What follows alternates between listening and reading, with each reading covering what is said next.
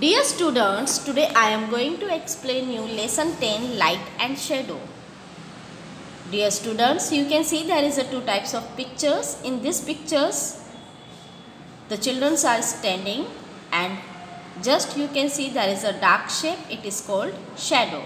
So students, the dark shape that forms on a surface when light falling on the object is blocked is called shadow. Only those objects form shadows through which light cannot pass at all. So students, if the object is just appear in a dark shape, it is called shadow. If light cannot pass at all, then only you can see there is a shadow. If light can pass through an object, you can't see a shadow. Students, shadows are always formed on the side opposite to the source of light. So, if the light is coming from the right side, the shadow will be formed on the left. If the light is coming from the left side, the shadow will be formed on the right.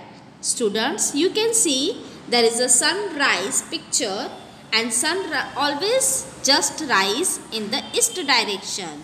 So that time you can see your shadow in the west. But when the sun set from the west, the shadow will be formed in the east. By this picture you can get idea that sun just changing its position in the sky, the shadow also change its direction. Students, the shadows also change direction with the change in the direction of the source of light. You can see there is a sun moves in the sky. The shadow also moves and change its direction. Students, the shadow at midday is short while shadows during the morning and evening are long.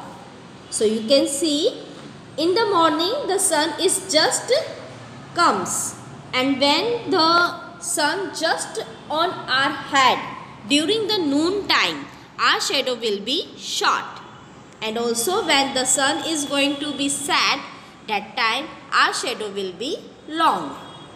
Students in olden time there were no watches or clocks. We have just now so many watches and clocks. Whenever we want to see the time we can see. But in olden days, people don't have watches or clocks. People would estimate the time by looking at the shadows of trees and other objects during different times of the day. Students, we have completed here our lesson, lesson 10, light and shadow. Thank you.